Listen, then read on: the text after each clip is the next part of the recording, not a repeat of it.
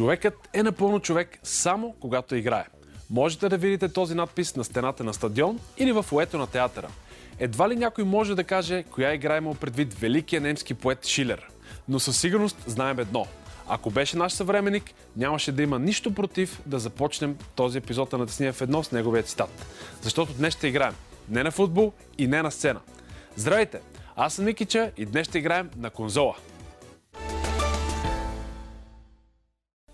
Терминът конзола има много значения. От подпора на балкон или рафт до кръглите кутии в стената, в които се крият кабелите на контактите.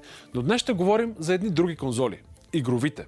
Те са разработени преди повече от половин век, през далечната 1967 година. За този период на хоризонта са изгрявали и залязвали много марки и различни модели. Но какво все пак е игрова конзола? Това е една малка компютърна система, която е много ограничена. Направена специално да си играят игри. А цялата и цел е да, да ограничава функциите си до игрите, които пуска. Може да има нещо допълнително, то е бегло и обикновено, обикновено минава между нещата. Цялата работа е да играме игрички, а не. Забавляваме в нашето свободно време. Допълнителните функционалности са много ограничени. Обикновено се стига до това да гледаме филми, предавания, онлайн телевизия, ако позволява също така, стримване на нещо от, от компютър, но пак само до мултимедия. Малко са нещата, има приложения като YouTube, Skype, зависи на коя платформа сме, но доста ограничено.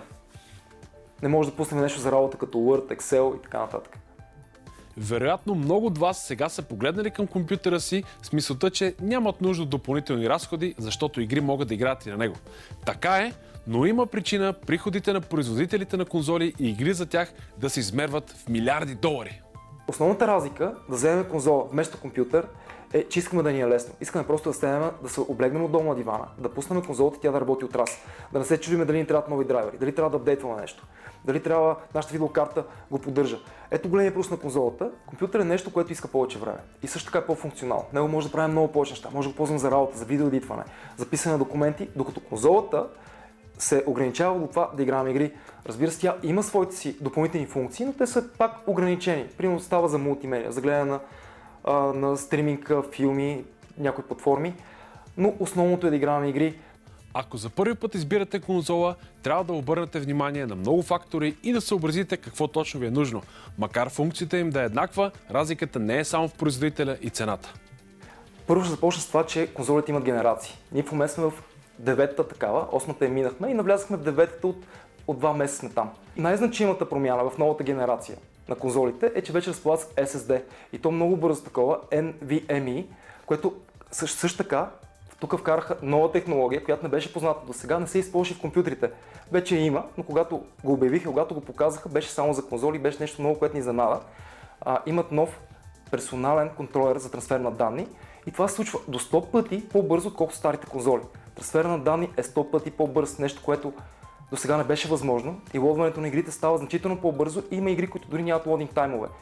Едно от нещата, които трябва да съобразите при избора на конзола е каква периферия ще използвате с нея. Има волани с педали, има китари, на които може да играме такъв тип игри, има барабани, има микрофони, на които може да свираме караоке и така нататък. Има матове за танцуване, едно голямо килимче, на което може да танцуваме. Реално, човек, който иска да инвестира някакви пари в това нещо, може да си купи всичко, което поиска. Разнообразието е много голямо. За клавиатурите и мишките, понеже обикновено телевизионните конзоли са ограничени до ползване на джойстик.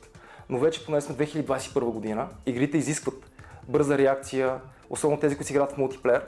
А, затова някои игри вече позволяват използването на клавиатура и мишка, но не всички. Към това мога да добавя, че има огромна гама от различни контролери. Има оригинални такива, има и от трета страна. С кабел, без кабел, с различно място на налозите и така нататък. Една много интересна новост се появи през последните няколко години на компютърния фронт – периферията за виртуална реалност. И макар все още да не е масово разпространена, тя вече си пробива път и при конзолите. Едно от най-готините неща, които аз много обичам, е хедсет за VR. Слагаме го и влизаме в играта, както в филмите от едно време, които сме гледали, влизаме в един виртуален свят, в който може да оглеждаме, да се движим в пространството. За тази цел има друга периферия, която трябва да се ползва камерки. И обикновено зависи какъв VR сет има, понеже има доста видове. За конзолите всъщност може да ползваме един единствен вид. За компютрите вече има няколко вида. И идеята ми е, че всяко едно такова устройство трябва да се ползва с допълнителни а допълнителна периферия, с която добавя движението. Обикновено има ръкавици, има неща, които слагат на ръцете или има неща, които държиме в ръцете. И това е фаща, на... също така самият хедсет има а, индикатор на главата ни, знае как се движим в пространството. Всяко наше движение се улавя и така може да интерактваме в играта и чувството е много приятно. Периферията има огромно значение за игровото ни преживяване, но най-важната част остава контролера или така наречения джойстик. Той, както ексклюзивните заглавия, са критериите, които трябва да имат най-голяма тежест при избора ви на конзола.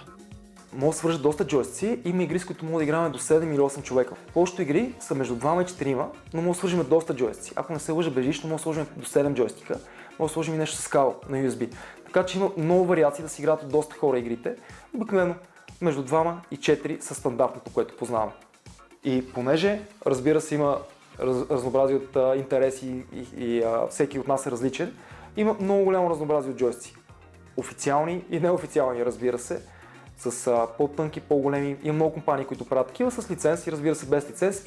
Джойстиците за последните 20 години не са се променили много. Тяхната форма, дизайн може би, но бутоните остават в същият в същата бройка и горе-долу на същото разположение. Това, което ни предлага джойстикът е едно много лесно и приятно, приятно движение в играта. За шутери, приключенски игри, обикновено се движиме с левия аналог и движиме нашата камера с десния, нашия поглед и движение в играта. С кръстачката, много отдавна, това, първите игри, обикновено движението ставаше с кръстачката. Това се е променило много с годините и те вече връщат обикновена работа, като примерно изкарване на оръжие, хилване или друга функция в играта, но не е за движение. Много отдавна тази функция е променена. Също въжи за тези бутони отстрани, които правят нещо допълнително в играта. Имаме тригъри и бъмпери. Обикновено с тях се стреля. Много е удобно, когато ползваме, когато играем на, на рейсинг игри. Това е най-удобният начин да се движиме, да даваме газ в играта или да даваме спирачка с другия такъв.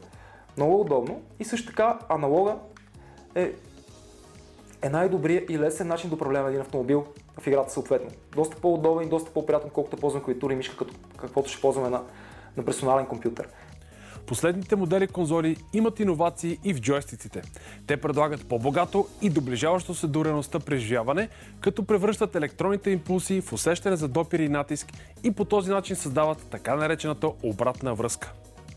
Всяко различно оръжие, което вземем, може да предлага различен натиск. Примерно на едно оръжие спуска може да го натиснем до абсолютния минимум, до долу, на друг няма да ни дава. И реално, колкото разбирам от играчи, не е нужно дори да си погледне какво оръжие взима, ами просто, когато натисне спусъка, знаеш какво е и какво държи в ръцете си, което допринася за едно усещане в играта. Всеки джойстик от тези поколения обикновено вибрира. Когато нещо се случва на играта, примерно може да умираме, може нещо драматично да става на екрана, джойстика почва да вибрира. Едно усещане, което изкарва това, което се случва на играта в нашото физическо, физическия в ръцете ни го изкарва. И е много приятно чувство и в новите джойсти то е много засилено. Отделно има 3D усещане и може да усетим, ако нещо случва в дясната страна на нашия екран, да усетим в дясната страна на нашия джойстик. Ако се случва в лявата страна, може да усетим в лявата страна. Имат порт за слушалки и микрофон, което много помага, ако играем с приятели, мултиплеер. Искаме да си говорим с тях, не е нужно да имаме бежични слушалки и слушалки с много дълъг кабел, дълъг кабел който да стига до, до дивана. Може да сложим и слушалки директно и лесно тук и да ги използваме. При конзолните игри присъстват всички игрови жанрове. Шутъри, рейсинг игри, спортове, приключенски и прочие. Трябва да обърнете внимание на някои специфики при избора на платформа и периферия, в зависимост от предпочитане от вас жанр. Джойстика е най-удобното за рейсинг и приключенска игра. Шутерите са много изненадващи, но за сигурност се играят доста на конзоли, особено безплатни игри като Fortnite, Warzone и други такива, както и много други мултиплатформени заглавия, които много трудно ще изборя всичките. А, защото джойстикът е труден за управление. С една клавиатура и мишка много по-добре се справим, отколкото с джойстик. И тук идва момента, тези игри, които споменах, а, популярните шутери, обикновено имат опция да се ползва клавиатура и мишка. И също така, ако ползваме джойстик, включва, а, включва една опция Auto Aim, която леко ни помага и насочва Америка ни там, къде трябва да бъде. Един жанр мога да допълни, който не съществува на конзола или понеже адски много рядък, това е стратегия. И това е причината е точно трудното управление с джойстик. Никой не ги прави и това е инерция, която е събирана с години. Вече 2021 година разработчиците имат правото да сложат драйвери за мишки клавиатура, но тази инерция, която е събрана, това са вече а, 5 десетилетия развиване на, на, на конзоли. От 1972 година започва първото конзолно поколение. И тази инерция, която е събрана, толкова години никога не са играли конзоли на. А, толкова години са си играли стратегии на конзоли, че това вече е забравено и никой, никой не портва такива игри. Това е жанр, който не съществува вече за конзоли. А сега да разберем колко често ще трябва да заменяте морално старялата си конзола с новия модел, за да прецените дали трябва да инвестирате в това. Конзолните поколения са дълги. Те обикновено хващат около 7 години. Поне това е показва историята. В началото почваха по 5-6 години, вече са по 7. А, поне са 2021 година и сега разбираме, че този хардвер, който се произвежда днес, 7 години няма е толкова актуален. Вече големите компании, обикновено по средата на поколението изкарват апгрейден модел. Обикновено се води Pro или X модел или нещо друго, което вече вдига хардвера, но тук те запазват всяка една игра, която излезе, да може да се използва на всяка, всяка една конзолка. Дали обикновената конзолка, дали е Slim и дали този апгрейден модел, който е Pro. При преносимите конзоли вече е много различно. За съжаление, в тези години, в които ние имаме нещо, което може да играме директно, го вадим от джоба си. Нашия телефон и може да играме някаква игра с невероятна графика нещо, което може да го сменим с половин година нещо, нещо още по-мощно. Преносимите конзоли издишат. Тъй като предаването ни е посветено на технологиите, а те се развиват с бясно темпо, трябва да бъдем до някъде и пророци и да предвиждаме на къде се движим. Затова сега ще си позволим да направим и една прогноза. Това поколение конзоли може би е последното такова, каквото познаваме и с каквото сме свикнали. Това, което виждам аз като голямата промяна, която ще дойде, вече може би споменахме, е Cloud Gaming. Това ще ограничи адски много, първо разходите, понеже тази затворена система, тази конзола, тя се разработва години наред. В нея са инвестирани стотици, да не кажа, че може би не знам и милиарди долари разработване, продукция и така нататък. И това ще бъде спестено. Ще има един отдалечен сервер някъде, на който те имат абсолютен 100% контрол. Ние не го виждаме, не мога да го питаме, но направим нищо с него. Те го имат, те го притежават, те го контролират. Ние просто виждаме играта. Лесно, бързо, от, от дивана си. Директно. То съществува и в момента, Даже може да го използваме за конзоли. Дали ще станете почитатели на конзолите или ще се придържате към универсалните компютърни игри, зависи само от вас. А ако сте почитатели на Натисни F1, харесате страницата ни във Facebook или ни напишете отзив, коментар или предложение за нова тема. До скоро!